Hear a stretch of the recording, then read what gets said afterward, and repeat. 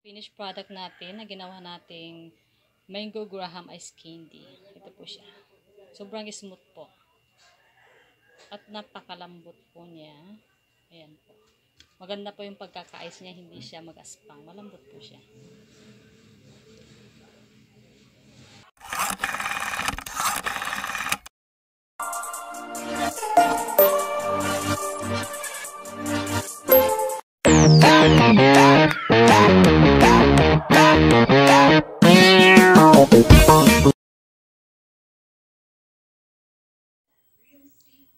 Mga kawaiti. Today's video, gagawa naman po ako ng mango graham ice candy. Gagawa muna ako ng mixture. Naglagay po ako ng 1/4 na asukal na puti. Akin po itong pakukulong. Lagyan ng tubig. Lagyan natin ng tubig. Try lang natin kung totoo yung sinasabi nila para siyang ice cream. Eh, ice cream. Ayan. Ito ko ng mixture.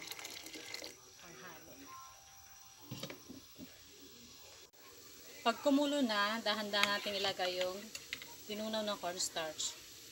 Yan. Lagyan natin yung tinunaw ng cornstarch. Ito yung parang magpapalapot sa ice candy natin. Parang ice cream daw. daw. Lansay nyo lang ah. Huwag sobrang lapot.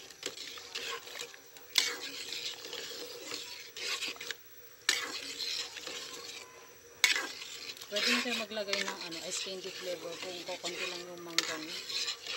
Tapos konting yellow food color. Para maganda yung texture.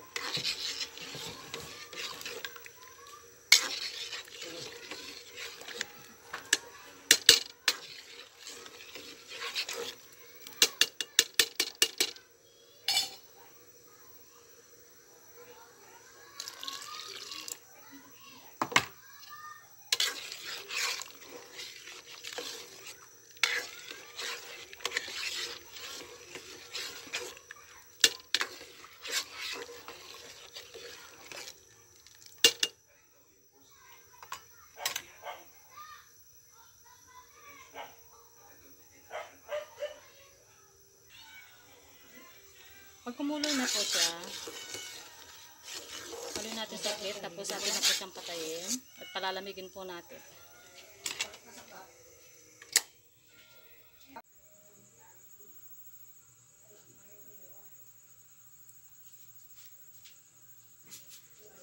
Ngayon naman po ay gagawa tayo ng mango. I-shake po natin yung mango para sa ice candy.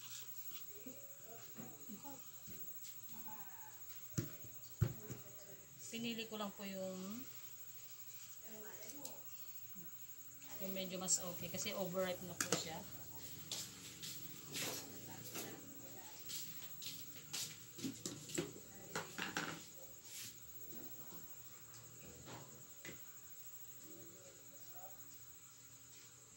Maglagay lang po kayo kung ilan ang nais ng mangga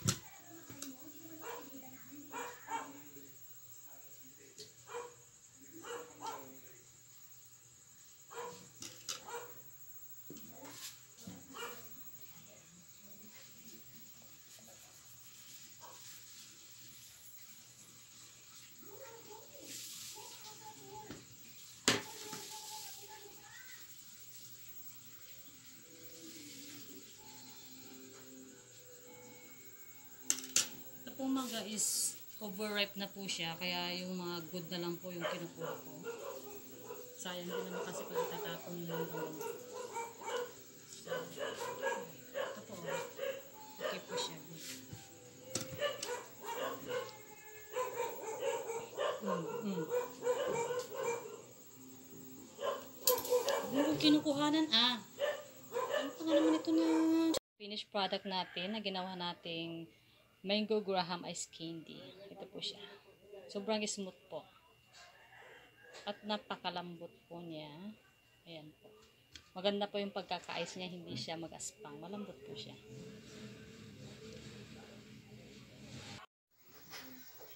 Gagamit po ako ng Alaska, Evap, at saka ng condensed milk po. Ito, binuksan ko na siya. Ilalagay natin yan dito sa i-blend natin ng mangga para mas madali siyang ma madurog ng pino. Okay na yan kahit kalahati lang.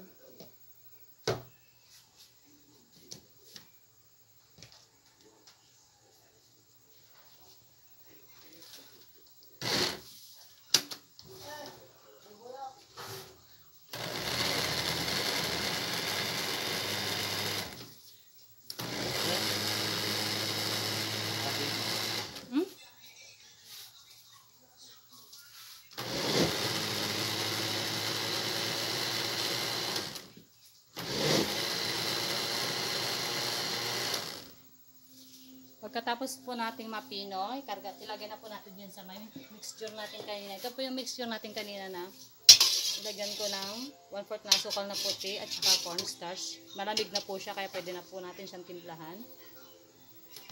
Bali, kaya po siya naging yellow kasi nilagyan ko po siya ng mango flavoring.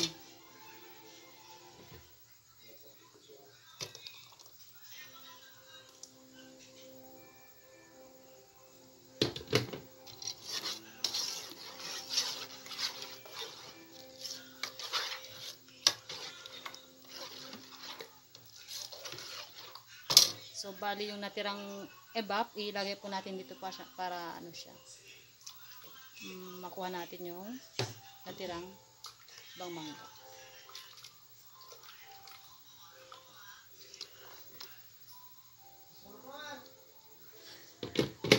Bali may natira pa pong konti.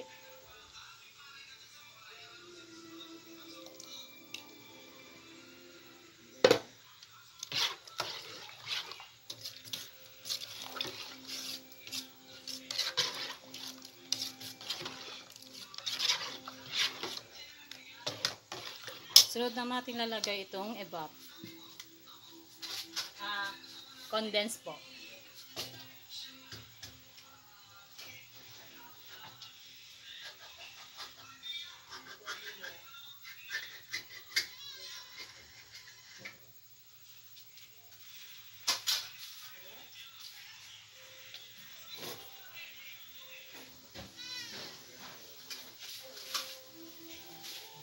Po eh, pampadagdag tamis po.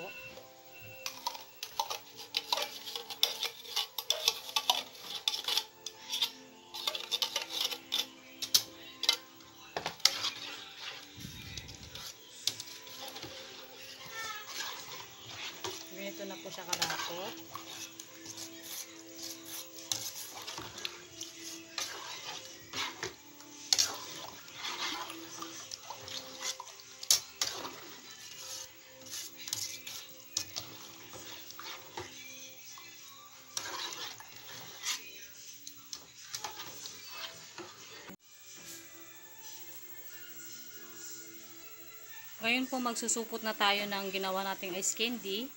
Gumamit po ako ng 2 by 10. 2 by 10 na supot po. Tapos gusto ko siyang lagyan ng graham. First time kong gumawa na may graham. Titignan ko po kung magiging lasang ano yun? Mango graham ice candy. Kung masarap po siya. Subukan na po natin magbalot. Ito po yung ang embudo. Bali, ano, sa first lagay, nagamit po ako nito. Bali, apat. One, two. Tapos yung, sa gitna po, maglalagay na po ako ng graham. Dalawang tap, ay dalawang kutsara. Tapos, dalawa. Ayun. Teka lang po ako ng Lagyan ko ng embudo. Ayan po na natin. Hindi na po magtali. Madali-madali lang po. Pang 5 pesos po kayo medyo maliit lang. Dinobli ko po yung tali niya para hindi lumabas yung ano. Ayan po yung pagkakatali niya.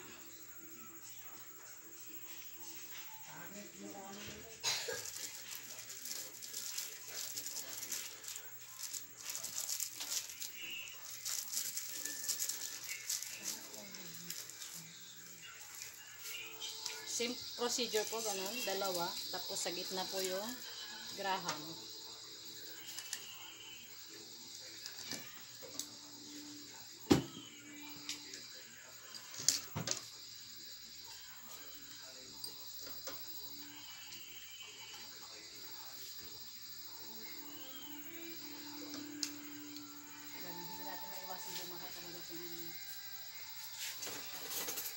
Meron na tayo naka-ready.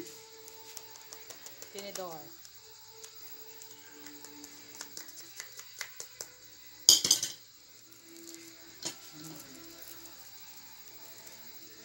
Para mas marami sukat ng ano. Ganyan lang po yung pagbalik. Ay, pagtali.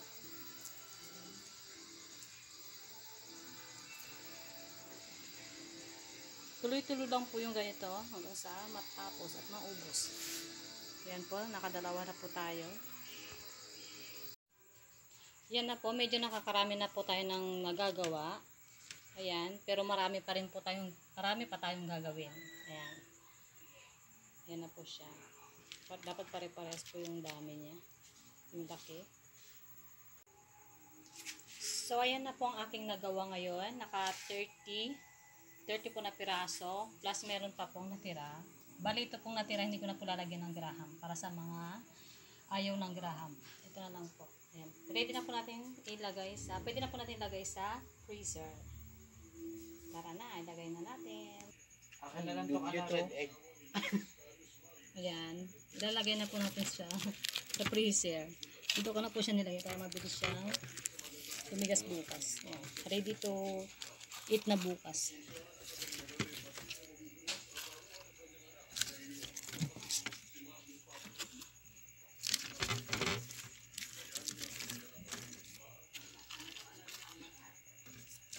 Ano yan? Flex ko lang yung mukha nitong batang to. Hmm? Alala ito. Bakit nakita? Ayan. Hindi nga nakikita.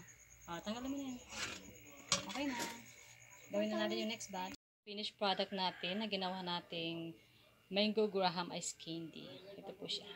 Sobrang smooth po. At napakalambot po niya. Ayan po. Maganda po yung pagkaka-ice niya. Hindi siya mag-aspang. Malambot po siya.